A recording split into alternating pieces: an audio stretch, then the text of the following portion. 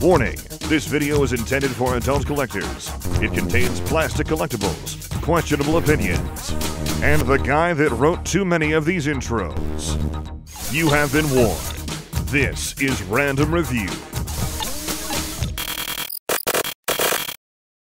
Before we begin, thank you very much to Cooking Steak with a Waffle Iron for joining the Patreon campaign. That is definitely a goofy one to to uh, to, re to read off, and I know where that came from. I know who did this. it doesn't upset me nearly as much as it upsets Red Claw, but hey, uh, I'm I really appreciate you pitching in. Thank you very much for doing so. Uh, so yeah, uh, we are almost through. Uh, we are halfway through all the reviews and my downtime, so yeah, let's move right on into the next one. Continuing with review catch up, we have the newest Megatron on the block, which is actually uh, a 20 year old Megatron, but he's back on the block now. You get my point. It's Armada Megatron. And because it's Armada, I feel like I am somehow duty bound to review this thing. And I don't know what you expect of me. I'm sure you want me to talk about it, but I don't know if you want me to loathe it just because it's from Armada or not.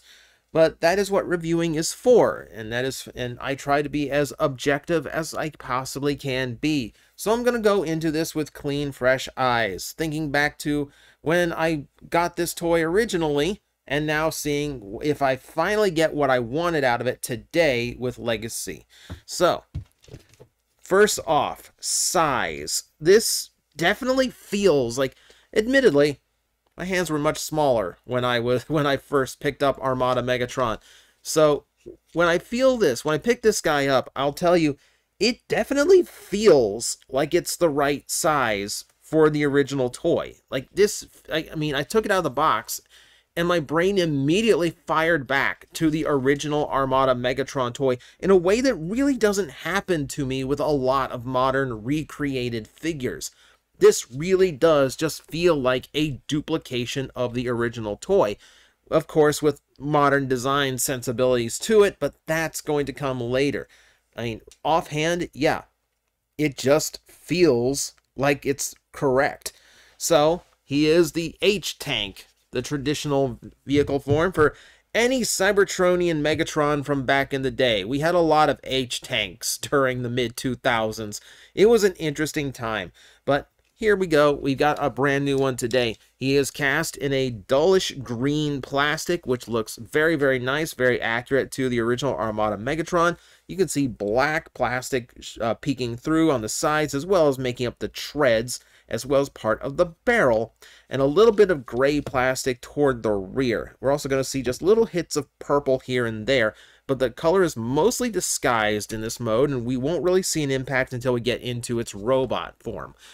But man, when we look at this, like number one, I'll tell you, like it does have heft to it. It is pretty solid and it looks pretty. Just plain and simple looks pretty. This is lavishly decoed. Keep in mind, this is a modern leader class toy, but it does not come with any added accessories. Not, it doesn't have the big Hulk hands. It doesn't have any extra weapon pods. It is just a big chunky figure and he feels it and you can see in the paint budget where they got away with so much. Lots of silver decorating both sides of the vehicle. Very asymmetrical design and sculpting, which I really like to see. You can see hits of orange here on the sides, on the barrel, here at these gun barrels at the top. You got a little bit of gunmetal mixing in, the black here on the side being painted. These, we look here on the side, that well oh that's that's molded plastic but you see the gunmetal adding more color to it a little bit more silver on the side. He's just loaded. Like headlights even. Even painted the yellow on the headlights. Yellow visor up here more headlights. Yeah tons. Absolute tons of paint. And then you focus in on the inside of his vehicle mode which I'll angle the light so you can see. More orange being exposed. You can see those claws he doesn't clamp down like the original one does. I'll give you a warning about those horns once we get into robot mode. But yeah, that's like feature-wise, he's got a ton going on here. Uh, he does have fake wheels in the bottom, so he can roll a little bit if you want him to.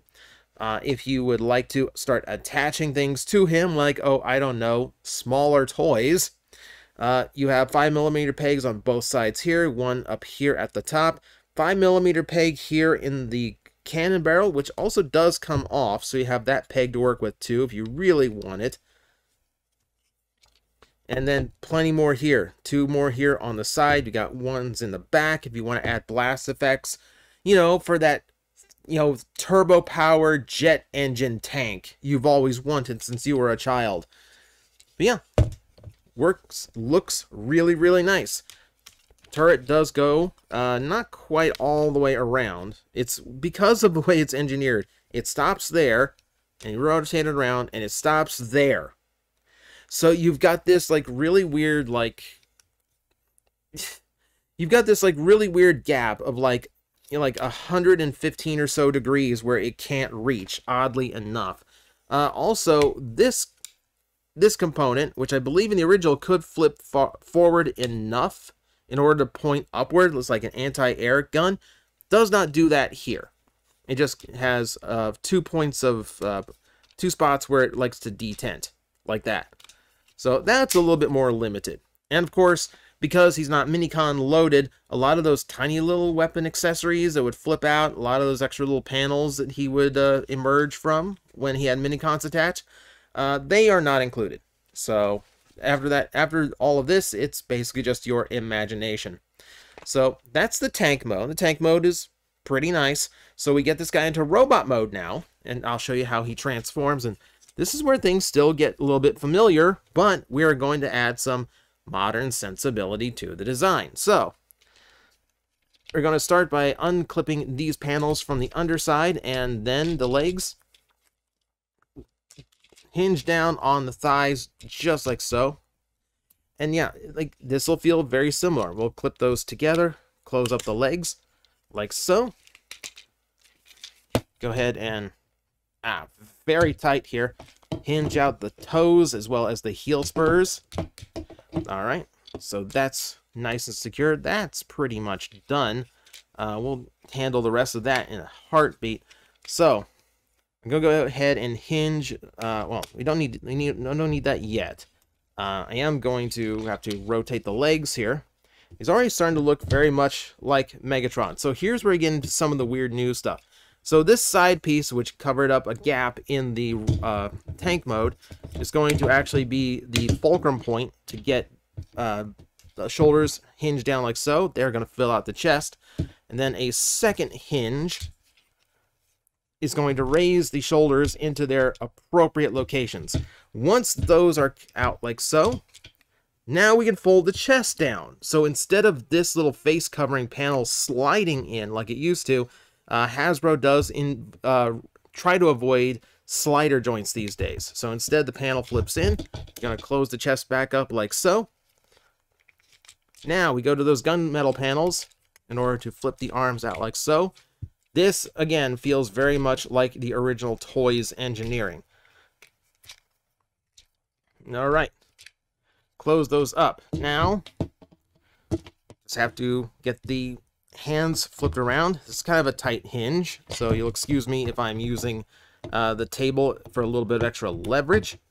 But yeah, that's how that goes, and that is how we get Megatron into his full robot mode. I will now have to adjust the camera because he's a big guy. Alright, so, like I said, the transformation feels really familiar. He does have a lot of elements retained from the Armada design, and that is, again, largely because the cartoon animation was fairly accurate to how the toy worked, so there's really nothing else you can do to kind of like twist it up or tweak it. You just kind of replicate the engineering and add articulation to it. Things like that, as well as adding some extra panels to cover up some gaps and removing the slider joint, also really shows like the advancements in engineering we've had since this toy was originally designed. So, you got a little bit more going on there, uh, but for, for the most part, it feels really familiar. It feels real familiar. All right. Speaking of familiar, let's take a look at that head sculpt here. Yeah, that that's our Emperor of Destruction right there. So yes, right down to the classic antler look He is Armada Megatron through and through. They did a really good job rendering the head, the head design and the helmet. Now, I will tell you, uh, excuse the darkness, uh, I will tell you that the horns themselves are flexible plastic. They are soft. So, uh, yeah, be careful with them a little bit because they can unpeg very easily. You can put you can peg them right back in, but the fair warning, they're not glued, they're not they're not uh, pinned, they're not uh, tabbed or anything. They're just kind of like loosely pegged in there. So the horns can fall out kind of easily if you're not paying attention. So just to make sure you have that advisement before you continue on with this toy. Now, taking a look at him again, he is again carrying on what the vehicle mode did. So we can already see a ton more purple has been exposed, so is a lot more gray. Uh, despite the fact that you still see so much of the tank around him, he's done a great job of hiding some of his primary colors. And I always love that visual transformation trick of making like the primary colors pop out from something that didn't seem like they were there before. So all that's good. Uh, we have some added paint details going on. The shoulders, of course, with the Decepticon emblems uh, tamper on. The midsection has little dots of orange there in the top of the pelvis, as well as some solid steel abs, which I would expect no less of Megatron. Yeah, and little details like the black on the top of his feet stand out a little bit too. I my brain wanted to say that the black on the chest is not accurate, and I think that's because on the toy I remember it being a lighter shade. But looking at the cartoon, looking at the source material, no, that's absolutely correct. For some reason, my brain just interprets it weird, and I don't know why. Um, probably because the chest has uh, kind of removed that big purple switch that the mask would originally attach to. Should have had a tiny Decepticon symbol in it. It does not. Of course, I think that makes up for it, don't you? So yeah, he does have a lot of familiarity to his look. He is so familiar in look, and they went so, like, accurate to how he was supposed to look. If you take a look, his right hand is your standard fist. The left hand is an open hand, just like the original toy was, because this is where because he had that he had a minicon gimmick where like you slide it out and it made a knife flip up into his hand. Thus, his hand had like a claw look to it rather than uh, rather than a standard fist. It's actually a really neat detail. Like completely pointless. They could have just made it like match the other side, but it does really bring out something a little bit different. It shows you how much they were paying attention. You can even see the forearms have different sculpting on them. Even the panels here on the chest are asymmetrical. So they put a lot of work into making sure all of the asymmetrical elements of him were retained, which is really, really nice. Now, if we want play features, unfortunately, doesn't come with any added accessory. This is actually a pretty rare leader toy these days that really doesn't have a third mode, nor does it have any big bulky accessory to kind of make up the price.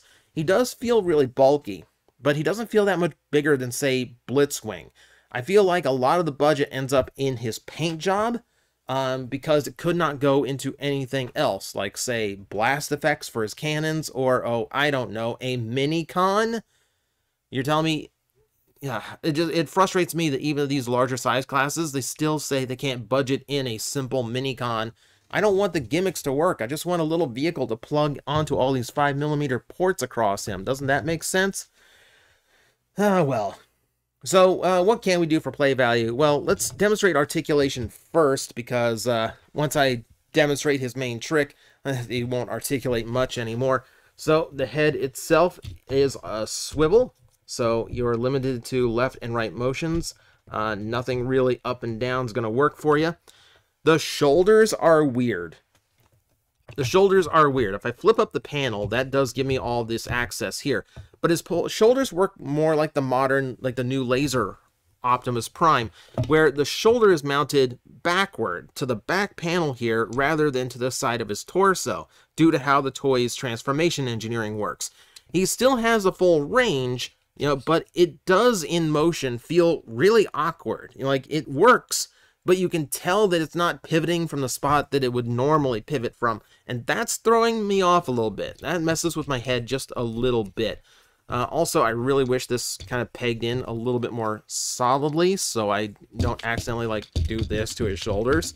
Um, also, to a point, the shoulders do not move backwards, so you can't like run, uh, you know, you can't like arc them back like the original toy. And because his arms are restricted to the backside, you cannot bring his arms any farther back than that. So they do come up kind of limited and awkward feeling, though they do fit most poses. You do have the waist articulation that works fine. Thighs all work. Yeah, the full, you know, the hips are full universal, the thighs are full rotation, almost 90 degrees at the knee, and then full ankle tilt as well. So he's got plenty of range of motion below the waist. It's just those shoulders that are just kind of awkward, and that's kind of unfortunate. But he does have the articulation I wish this design always had, which is primarily in the legs, and that you know makes a world of difference to how like uh, the presentation for this toy actually works out. So that's enjoyable. That really works for me. All right, so we got one more trick that we can show off with this Megatron. So let's go ahead. I'm going to get his arms out of the way. I'm going to hinge this piece down so it will stay out of the way while we rotate the entire midsection around. Close it back up. Aim that forward. Aim the smaller cannon forward. He's, and that's going to put Megatron into his familiar attack mode, which normally would have a Minicon added to it to uh, add to this, but unfortunately, you know, budget thing again. But it is cool that they still engineer this in. He can actually do the trick. It doesn't rotate around all the way. Like I said, for some weird reason, it's not a full 360 on the turret. But, yeah, it actually does work. So you can actually arm up your Megatron this way. And this brings up the question. Do I, now that it is actually in hand, after all the speculation and multiple videos about the topic, do I think that Tidal Wave is actually going to come out and combine with this Megatron? And the answer, my friends, is no. Uh, for two main reasons. Number one, while the arms are fairly stiff for their size class, um, there's no ratcheted element to them, which is what he would need in order to hold up what essentially would be a third of a leader class toy at minimum uh, in weight on each arm. Uh, when I can just like do this and just kind of move his arm without any effort whatsoever, uh, no, that's not going to hold up the kind of weight that Tidal Wave would require. Also, you'll notice that as part of the new transformation scheme, he does not have the slide joint in his torso, which is what was required for Tidal Wave to be able to clip onto his back. Now, you could say that, well, they'll pin that on as well, but keep in mind, that slide also gave it the extra height it needed to keep his big arm-mounted sections from scraping the ground all the time. So, while I have no doubt someone will third-party 3D print or something to make a tidal wave for this Megatron, I don't foresee Hasbro actually doing it, much as, you know, people might want it after this toy's debut and after this is, you know, becomes much more readily available. The truth is, it really just, uh, it really just doesn't seem like it's engineered to be able to handle it. So, is what it is. I think this is just going to be how this one is. At best, expect a Galvatron repaint, but I don't think you're going to be getting anything else that attaches onto him. Minicon or Tidal Wave, either way. But that is going to be Armada Megatron. Yes, it is a very solid and lavishly painted leader class figure. He doesn't come with any of the extras we come to expect, which is disappointing because, well, it does rob play value when you don't even have something as simple as a knife or rifle accessory. You know, like like maybe a little like uh, Requiem blaster accessory would have been nice. Something. Just so like, I don't know. He does feel lacking, as that's how I'm going to phrase him. That said, he is solidly constructed. Nothing is really hollowed out on him at all. You can see all the way around. He's just dead solid as a toy itself. Uh, and if that is valuable to you, you're going to get value out of this guy. He is pretty much what I wanted the original Armada Megatron to be. Highly articulated uh, and just very well painted and detailed. He just suffers from some weird design choices and just like a lack of things to do with him. But beyond that, yeah, he is not bad. Maybe wait for a sale, but overall, yeah, he, I'd say he makes for a decent upgrade of Megatron. I'm like, I think you guys got this. I will back away, and I will see you all day. You've got this handled. Luffy's like, really? You're not gonna help me? Like, it's fine now. It's like these disgusting creatures breathing down my neck, and you're all just like, I believe in you. You got this. All right, you seem to have this. Five minutes.